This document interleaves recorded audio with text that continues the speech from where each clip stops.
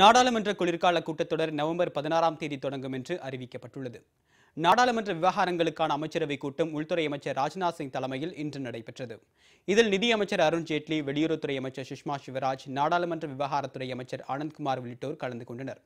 கூட்டத்தில் குளிர்கால கூட்டத்தொடரை நவம்பர் பதினாறாம் தேதி முதல் டிசம்பர் பதினாறாம் தேதி வரை நடத்துவது என்று முடிவு செய்யப்பட்டது. வழக்கமாக நவம்பர் கடைசி வாரத்தில் கூடும் குளிர்கால கூட்டத்தொடர் இந்த ஆண்டு முன்னதாகவே தொடங்க உள்ளது.